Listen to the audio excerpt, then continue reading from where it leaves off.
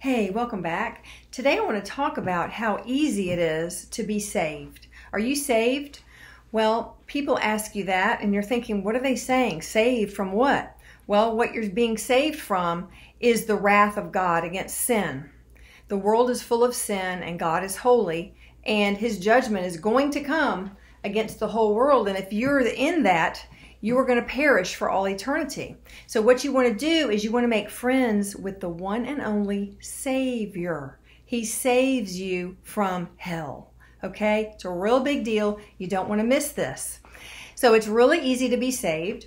A lot of um, people and the devil and his demons and a lot of Pharisees want you to think that it's so hard to be saved and that you have to have all A pluses on your record to be saved. But the truth is, you can have all F's your whole life. Everyone told you you were worthless and you failed at everything you tried to do. You can still be saved. It doesn't matter if you have murdered people. It doesn't matter if you've stolen money. It doesn't matter if you have abused people or committed crimes or just been a drug addict. It doesn't matter. Any of those things has no bearing on salvation. In fact, those are the very people that Christ really wants to come to Him Okay, so let's look at how easy it is to be saved. So Romans 10 9 through 10 says this If you acknowledge and confess with your mouth that Jesus is Lord, and in your heart believe that God raised him from the dead, you will be saved. Now, is that exciting? So, look here. If you, if means you have a choice and you don't have to. You is you. Acknowledge and confess with your mouth what? That Jesus is Lord. Jesus is Lord. And in your heart, believe, I'm going to tell you what that means in a minute, that God raised him up from the dead. You will to fact, be saved. Remember, there is historical documentation that over 500 witnesses saw him walking around after he was crucified. Okay? So that is not up for discussion because today in a court of law, you only need how many witnesses to validate something? Two. Okay? So that's a no brainer. All right? So if you believe that in your heart that God raised him from the dead, after you acknowledge and confess with your mouth, you will be saved. Now, verse 10 explains this a little bit um, more in detail. It says, With the heart, a person, you, believes, we're going to talk about what that means in a minute, and so is justified. And with the mouth, he confesses and confirms his salvation. Okay, here's your mouth confessing salvation. All right, so let's talk about what these words mean real quick. So if you acknowledge and confess with your mouth that Jesus is Lord, you say out of your mouth, Jesus is Lord, and in your heart, you really believe that God raised him from the dead, you will be saved. What does this word believe mean? This word believe means that you are, when you believe, you are adhering to like super glue.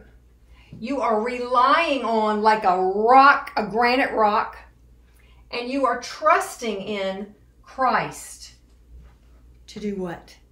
To do what he said he would do. To save you, right? You will be saved. You're trusting Christ when you believe that you will be saved because you have met the criteria for salvation. Speaking and believing. It's real simple, y'all. So let's look down here. With the heart, a person believes. We just talked about what that meant. And so is justified. What does that mean? It means that you are declared righteous in God's eyes. You are now acceptable to Him. See, that's the only way that you can be ever acceptable to God is to be perfect absolute perfection. In fact, it's not just a perfection or a righteousness, is the exact perfection and righteousness of the Lord Jesus Christ.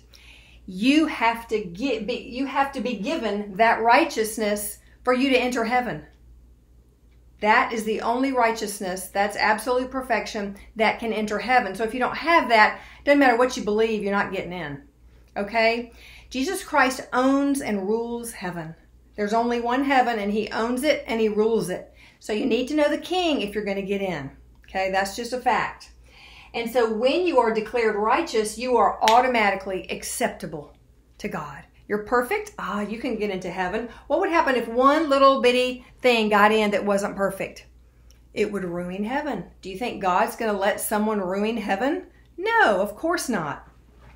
And then let's just look real quick at what confess means. With the per, with the heart, person believes and so is justified, and with the mouth he confesses and confirms his salvation. What does confess mean? It means to declare openly with your mouth and especially in front of other people. That would be really good. And speaks out freely his faith. You speak out what you believe. Jesus is Lord. Jesus is Lord. You'll say it anywhere because you know it's true. It doesn't matter if the whole world doesn't believe it. You know it's true because he lives in your heart and you can speak freely. Okay? So that's what those words mean. This is why it's so easy to be saved. Confess with your mouth Jesus is Lord in your heart of hearts. Believe, and adhere to, rely on, trust in the Lord Jesus Christ to save you, and that God raised him from the dead. All right, and here's a little model I made. Here are you here you are, and here you are confessing with your mouth right here, and that gets you salvation.